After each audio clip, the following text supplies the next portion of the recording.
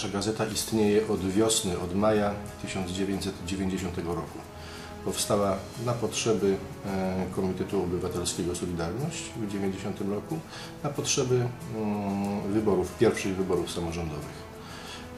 E, Jest w tej chwili jedną z kilkunastu najstarszych e, prywatnych gazet tygodniowych e, w Polsce. Wydawca Paweł Kozera, e, twórca tej gazety, m, był przez całą dekadę lat 80. aktywnym, aktywnym członkiem podziemia, drukarzem, bardzo zasłużonym drukarzem podziemnym i swoje umiejętności e, poligraficzne postanowił przenieść na, e, na, na gazetę.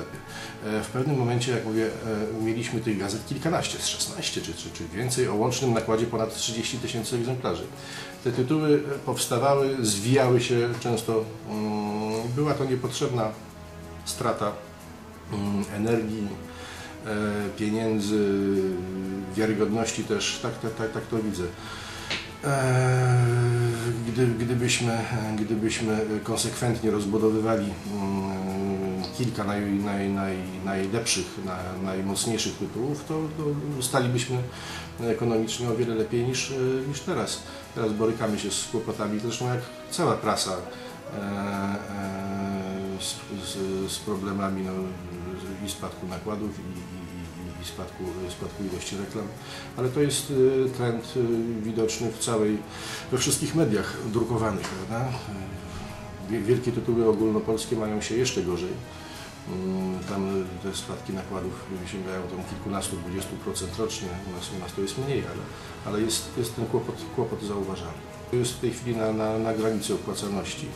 Jesteśmy w Stowarzyszeniu Gazet Lokalnych. y, Wydawca jest też członkiem Izby Wydawców Prasy. Stowarzyszenie Gazet Lokalnych pozwala nam e, e, budować taką łączną ofertę dla dużych reklamodawców ogólnopolską, prawda? Jeśli mamy tam kilkadziesiąt tytułów, czy sto kilkadziesiąt tytułów, e, to wtedy jesteśmy mm, pożądanym partnerem dla, dla, dla firm i z tego też się korzysta, z tego też są jakieś wpływy, niewielkie, ale są. No i to, to, to podnosi i prestiż, i siłę małych tytułów, na pewno od, od prawie 12 od 11 lat jesteśmy w ostrej opozycji do, do, władz, yy, do władz miejskich. Jedną z największych bolączek nas wszystkich tworzących gazety lokalne jest, mm, jest takie, no, przepraszam za sformułowanie, łajdackie zachowanie wielu samorządów, polegające na wydawaniu własnych, wydawaniu własnych yy, tytułów, własnych tytułów prasowych. E, Tutaj na naszym terenie też mamy to do czynienia. Za, za, za publiczne pieniądze e, samorządy, politycy rękami swoich urzędników wydają, wydają miesięczniki zazwyczaj, e, które zaspokajają część zapotrzebowania na informację lokalną, a de facto są e, narzędziami propagandy. Propagandy e, promującej osoby, stowarzyszenia, środowiska polityczne działające na tym terenie. E, Jest to no, niezgodne z ustawą o samorządzie terytorialnym. Ym, Te gazety, proszę sobie wyobrazić, bardzo często zamieszczają też prywatne ogłoszenia reklamowe, czyli prowadzą działalność gospodarczą, co jest już no, kryminałem. Praca w lokalnym medium tym się różni od pracy w medium ogólnopolskim czy regionalnym, że mm, pracujesz w miejscu, gdzie cię wszyscy znają. Ja tutaj mieszkam od trzech pokoleń, akurat w tym mieście. E, e, Chodziłem do tych samych szkół, co mój ojciec. E, I, i, I znam w zasadzie wszystkich z widzenia w tym, no wszystkich nie, bo miasto jest 60-tysięczne i większość ludzi to, to napływowi. Natomiast, natomiast jest coś takiego, że mm, reakcją na, konsekwencją tego, co napiszesz w gazecie może być telefon o północy, może być, e, e, może być nieprzyjemne spotkanie na chodniku, na ulicy, kiedy ktoś cię wymyśla. E, We wszystkim, co, e, co, co piszesz, jest element prywatności. Jest, e, piszesz o ludziach, których e, znasz, których znasz, e, których zna Twoja rodzina, którzy znają Twoich, twoich rodziców, pamiętają Twoich dziadków. E, I, i, i w zasadzie e, nie ma, nie ma spraw publicznych, bo każda sprawa publiczna ma aspekt prywatny, bo dotyczy kogoś, kogo się zna.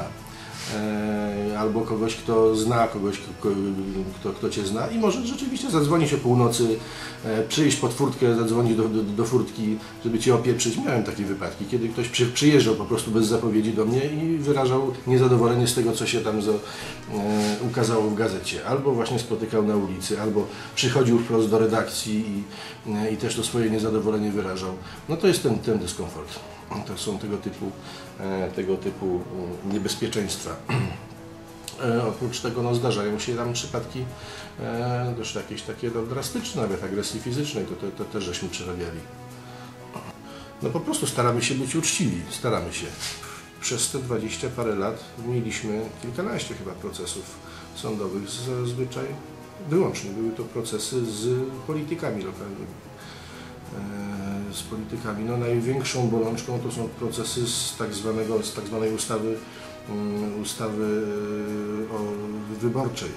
E, I to są procesy, które odbywają się w ten sposób, że e, o 9 rano ktoś dzwoni z sądu na, na Lesznie, prawda, i, i mówi, że o 12 czy o 1 mamy być na miejscu. Nie ma możliwości zebrania, zebrania dokumentów, ułożenia sobie tam pracy, tylko za kilka godzin trzeba być na, na miejscu i tam sędzia, sędzia rozpatruje e, w, ograniczonym zakresie rozpoznawalności e, jak- jakiś, jakiś proces. Mieliśmy kilkanaście, niektóre przegrywaliśmy, niektóre wygrywaliśmy, nie pamiętam, nie, pamiętam proporcji. Nerwy to szarpie jak cholera, także to jest, to jest bardzo, bardzo duży dyskomfort takie procesy. Tym bardziej, że my nie dysponujemy też prawnikami. Taki wójt czy, czy, czy prezydent czy, czy burmistrz przyjeżdża, e, przyjeżdża ze swoim prawnikiem przygotowanym, prawda? A, a, a my tutaj jedziemy sami. Czasem, czasem jakiś znajomy prawnik, y, jeśli ma czas. Mm, Także, także te szanse tu są nie, nierówne. Polskie prawo prasowe to jest prawo z 1984 roku z późniejszymi uzupełniami. To jest bolszewickie prawo, które jest zupełnie do, do, do, do, do, do zmiany, tylko nie ma woli politycznej ża- żadnej ze stron w Sejmie, żeby, żeby to zrobić. Oczywiście prawo prasowe jest do, do, do napisania od początku.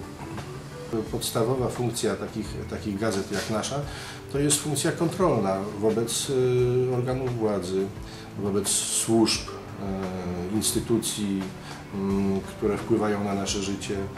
E, I my staramy się realizować tę właśnie funkcję ko- ko- kontrolną. I, I największą naszą bolączką i takim dyskomfortem jest to, że, że ujawniane nieprawidłowości przez nas wynik e, ciężkiej pracy i narażania się też na, na, na, na, różne tam e, konsekwencje. Mm, Znaczy jest, s- spływa po ludziach, po, po, po naszych czytelnikach jak, jak woda po kaczce. E, Nie, nie przenosi się to na zorganizowane działania obywatelskie. E, To, no, i to jest chyba największa, największy taki ból, e, nie tylko mój, ale w większości osób, które mm, w gazetach lokalnych, niezależnych gazetach lokalnych pracują.